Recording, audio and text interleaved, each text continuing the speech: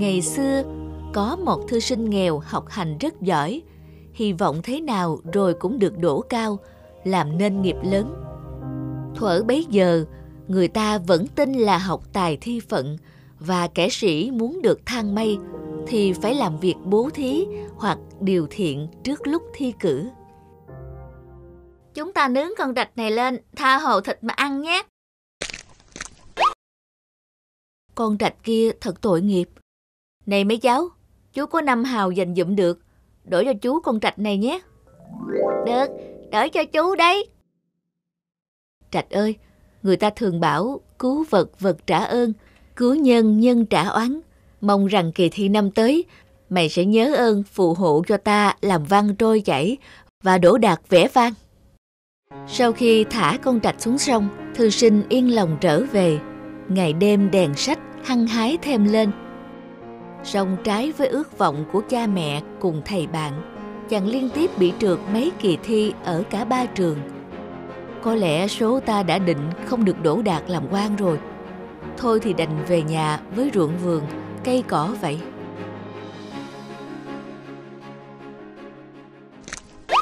Lạ thật, sao có nhiều lính canh gác ở đây vậy? Hỏi ra chàng thư sinh mới biết là ở quãng sông này có một con trạch rất lớn hóa thành mãng xà, thường đón người qua lại đây để ăn thịt. Có lẽ nào con quái vật đó chính là con trạch ta đã cứu nạn năm xưa? Ta muốn qua sông ngay lúc này, ngay lúc này thì không được. Nhưng ta có việc rất gấp, không thể chờ được. Đó là do ngươi thích lao vào chỗ chết đấy nhé.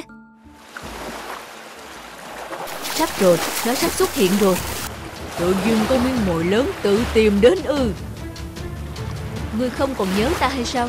Có phải ngươi là con rạch đã được ta cứu mạng cho khỏi tay lũ trẻ chăn trâu độ trước? Đúng đây, nhưng ngươi nhận ra cũng quá muộn rồi. Ta phải ăn thịt ngươi. Từ từ, hãy nghe ta nói đã. Mấy năm trước, sở dĩ ta cứu sống cho ngươi ở khúc sông này, ta có nói cho ngươi biết là vì ta tin ở sự biết ơn của loài vật, cứu vật, vật trả ơn, cứu nhân, nhân trả oán. Bây giờ ngươi trả ơn ta như thế phải không? Cứu vật, vật trả oan mới đúng. Thôi, đừng chữ nghĩa lôi thôi nữa. Phải kiếm ai phân xử mới được. Nếu họ bảo ngươi có lý, thì ta xin bằng lòng cho ngươi ăn thịt. Chỉ cần hỏi ba lần thôi, bất cứ gặp người hay loài vật, ba kẻ đầu tiên chúng ta đi gặp đây là ba kẻ phân xử, quyết định cho chúng ta xem ai có lý.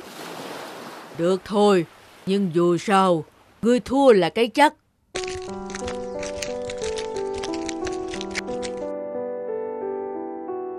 Trâu, ta hỏi ngươi, ngươi nghĩ sao về câu cứu vật, vật trả ơn, cứu nhân, nhân trả oán?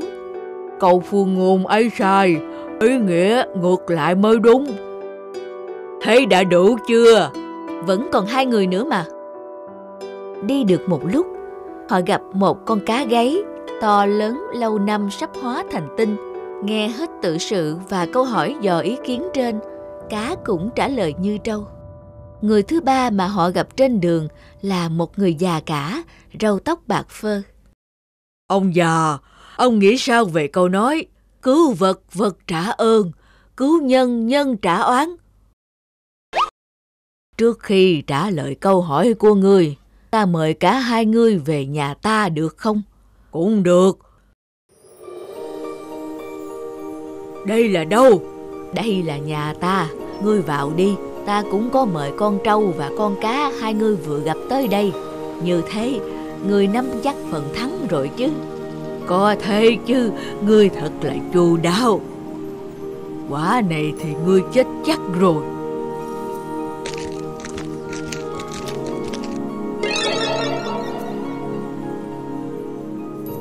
Người, người là... Ta chính là Phật Thế Tôn ở trên trời. Ta nghe thấy rõ mọi việc xảy ra giữa chàng thư sinh trẻ và con mãng xà bạc ác cùng những lời lẽ của trâu và cá gáy liền hóa ra thành ông lão để gặp các ngươi. Lại Phật Thế Tôn ạ, à, chàng thư sinh trẻ kia ta khá khen cho ngươi vì có tấm lòng bao dung hướng thiện biết suy nghĩ cho người khác rất đáng để người đời noi theo còn các ngươi là những kẻ bội bạc được người khác giúp đỡ đã không lấy đó làm cảm kích mà còn giở trò bội bạc muốn hãm hại người đã giúp mình. Đó là tội không thể tha được. Ừ, xin người tha cho chúng con. Ta sẽ trừng phạt những con người bội bạc các ngươi tạ phật thế tôn anh minh đã đứng về phía lẽ phải. Nếu ngài không chê, từ nay con xin nguyện theo ngài. Xin ở lại chùa này để tu hành phật pháp à từ đó, giá chuông nhà chùa đúc theo hình con rắn, trống bịch bằng da trâu và mỏ làm theo hình cá gáy để nhắc nhở các nhà tu hành nhớ sự tích này mà luôn luôn giữ lấy lòng ngay thật, hiền lành bất cứ ngày hay đêm, mỗi lần đọc kinh, ai ai cũng phải gõ vào ba vật nói trên. Sự tích hoa mộc lan. Thuở ấy, ở nhật bản, có một người con gái tên là cây cô mồ côi cha lẫn mẹ. Nàng phải làm hoa giấy đem ra phố bán. Nhưng hoa bán đã nhiều, mà tiền thu về chẳng đáng là bao. Cây cô cũng không có đủ tiền sắm nổi một bộ kimono mà các cô con nhà quý phái vẫn mặc hôm đó, khi cây cô đang ngồi gấp những bông hoa bằng giấy, bỗng từ đâu có một con vẹt bay tới đậu bên vệ cửa sổ. Có lẽ nó đã già, song vẫn còn đủ minh mẫn và biết nói tiếng người. Ôi, ra là một chú vẹt già. Có lẽ chú đang đói và khát lắm phải không? Ăn đi nè. Nhìn nàng ta lại nhớ tới bà chủ cũ của ta. Tiếc rằng bà ấy đã qua đời vậy nên ta mới không có chốn dung thân như bây giờ. Thật vậy sao? Nếu vậy vẹt có thể ở lại với ta tuy ta nghèo nhưng ta hứa sẽ che chở bao bọc vẹt. Nàng quả là một người có tấm lòng nhân hậu. Để đáp lại lòng tốt của nàng ta sẽ nói cho nàng nghe một bí mật. Bí mật ư? Đúng vậy nhưng nàng phải hứa không được nói điều này cho bất kỳ ai khác nghe. Nếu không nó sẽ không còn linh nghiệm nữa chuyện là thế này. Bà chủ cũ của ta cũng làm nghề bán hoa giấy như nàng. Xong có một mụ phù thủy đã tiết lộ cho bà, một bí mật về cách làm cho hoa giả trở thành hoa tươi. Nghĩa là phải lấy máu của mình tiếp sức cho các cành hoa. Chẳng bao lâu, bà chủ trở nên giàu có. Lúc đó một phù thủy đã báo trước cho bà ta rằng, Dù thế nào cũng chớ có hiến đến giọt máu cuối cùng. Nhưng với bà chủ của ta Dẫu có tích góp được bao nhiêu của cải Cũng vẫn cứ là ít. Và thấy là khi có một vị khách ngoại bang Hứa cho bà một khoản tiền lớn Nếu bà bằng lòng tiếp thêm sinh lực cho hoa Bà chủ đã không ngần ngại Ngay cả đến giọt máu cuối cùng Và bà đã phải chuốt lấy cái chết Thật là khủng khiếp vì sao mi không ngăn cản bà ta?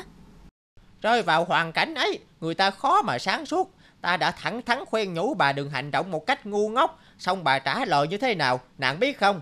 Ta đã chán ngấy những lời đường mật của họ nhà vẹt rồi.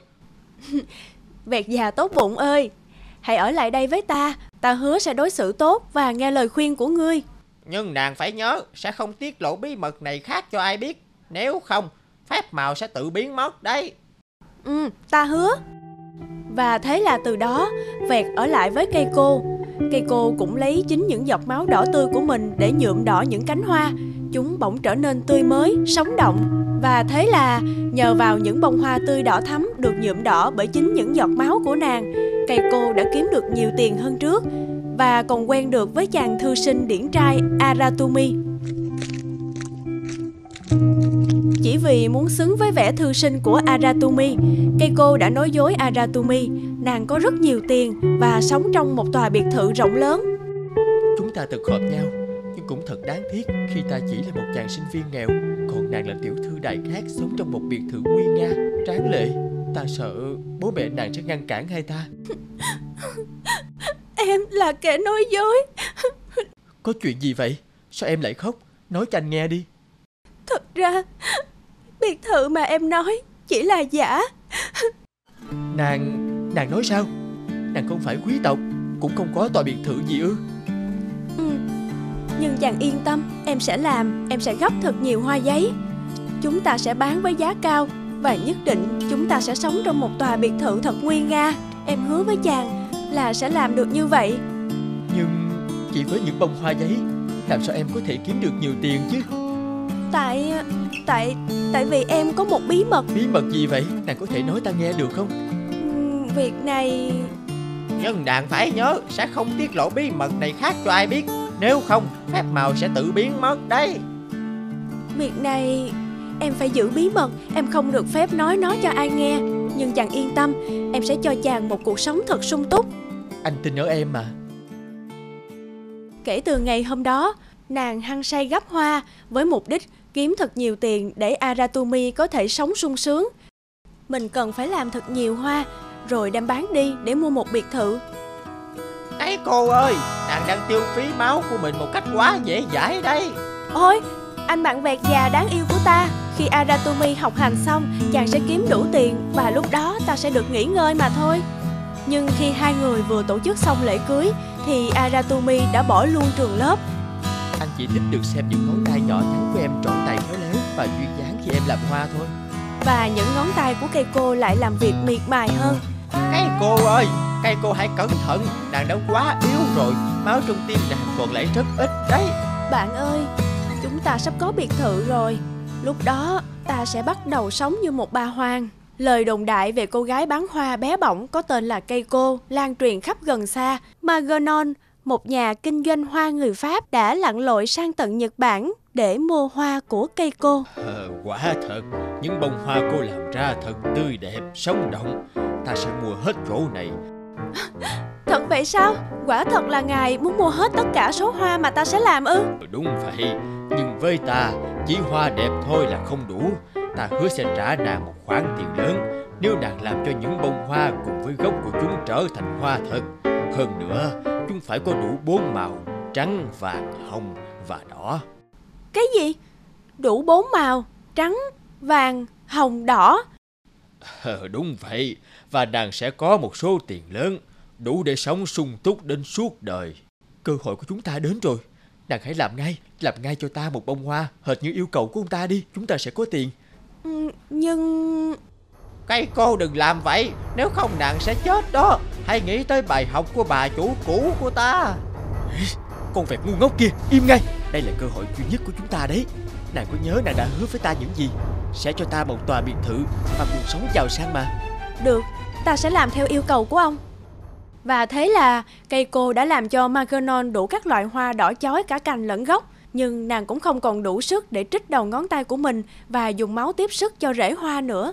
Cái cô Cái cô ơi Chứ có cho giọt máu cuối cùng Thôi đủ rồi Con vẹt ngu ngốc kia Loài vẹt nhà mi chỉ quen khoác lác thôi Aratumi yêu quý, em chỉ còn giọt máu cuối cùng thôi. À, Ta cần một bông hoa đỏ Đỏ thật sự. Ta sẽ không tiếc tiền. Miễn là nàng làm cho bông hoa đỏ này rực lên cả rễ của nó. Cây cô Em cần phải hiểu rằng Điều đó có ý nghĩa đối với chúng ta lắm chứ. Em có hiểu không? Đời sẽ thế nào nếu chúng ta sẽ có một tòa biệt thự? Tòa biệt thự mà em đã hứa với anh đó. Sau khi lấy hết hơi tàn sức kiệt, cây cô chích đầu ngón tay mình, vắt ra giọt máu cuối cùng tiếp sức cho rễ bông hoa đỏ. Cuối cùng, số phận của cây cô cũng không khác chủ cũ của chú vẹt là bao. Sau khi có được bông hoa tươi rói, Maganon đã mang chúng về Pháp và đặt cho nó là Magnolia, nghĩa là hoa mộc lan. Chàng ngốc làm quan Ngày xưa, ở một vùng núi xa xôi nọ, có một chàng tiều phu. Từ hồi còn nhỏ đến giờ, chàng trai thẳng thắn, chính trực và lương thiện này đã suốt ngày chỉ ở trên núi, làm việc từ tinh mơ tới lúc mặt trời xế bóng. Thế nên, chàng chẳng mấy hiểu biết về thế giới xung quanh và dân làng mặc nhiên coi chàng là một chàng ngốc. Một hôm, khi đang gùi một bó củi lớn xuống núi, chàng tiều phu nhìn thấy một đoàn quan binh long trọng tiến lại gần.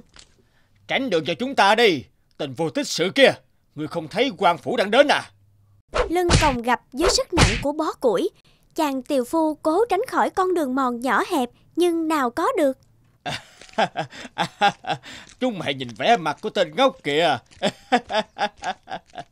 Sao các người lại cư xử bỉ ổi nhường ấy đối với một con người cơ chứ Sự sỉ nhục đó khiến chàng tổn thương đến mức chẳng buồn gắng gượng để rời khỏi vũng bùn nữa.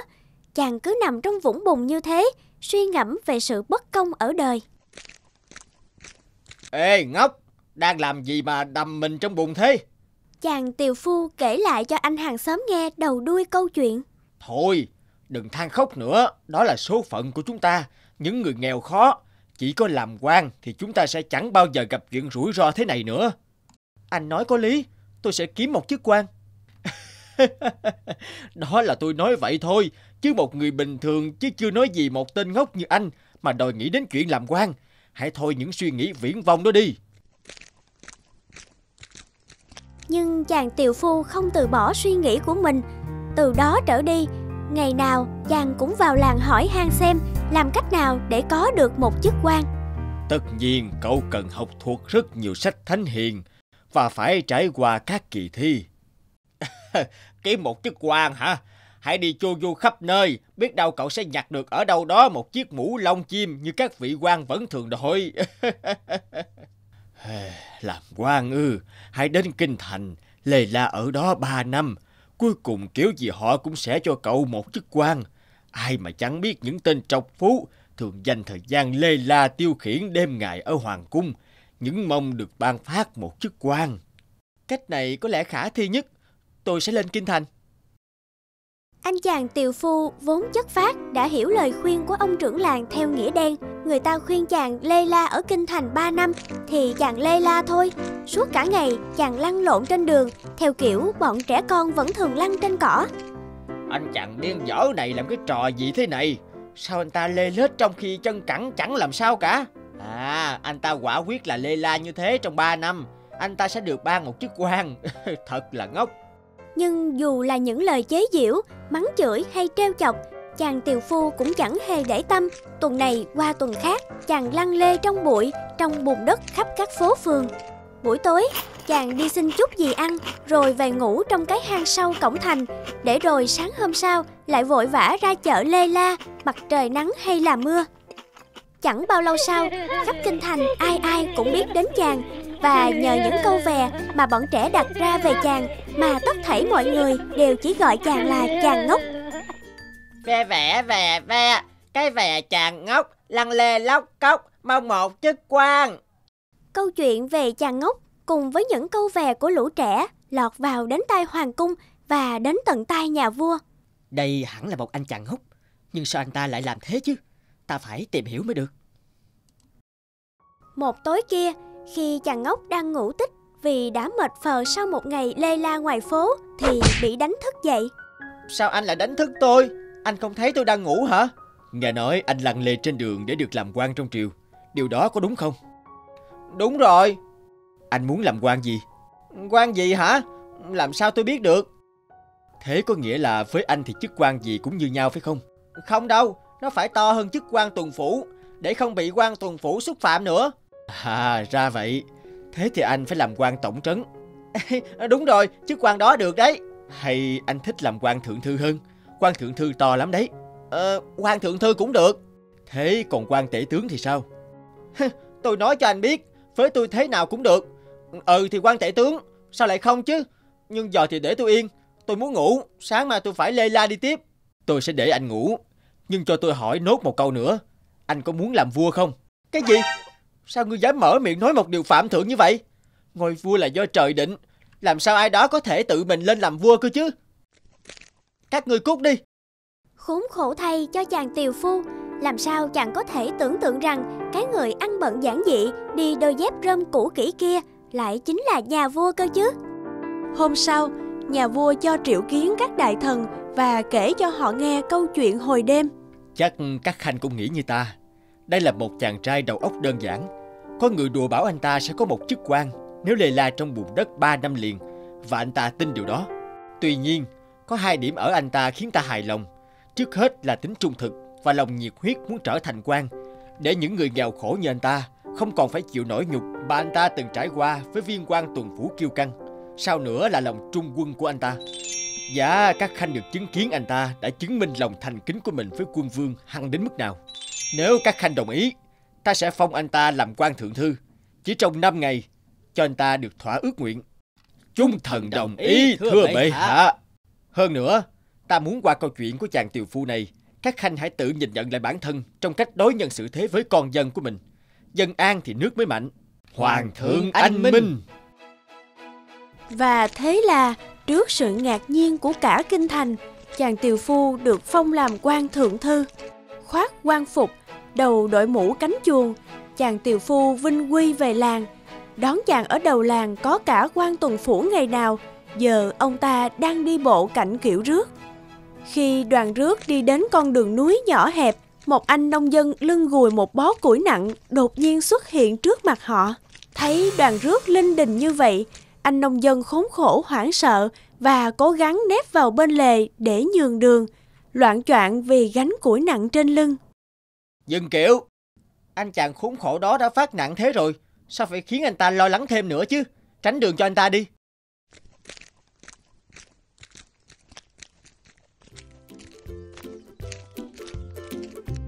Ý nghĩ mình đã cho quan phụ thấy ngay đến một nông dân bình thường cũng phải được đối xử như một con người, thật khiến chàng ngốc thượng thư mãn nguyện.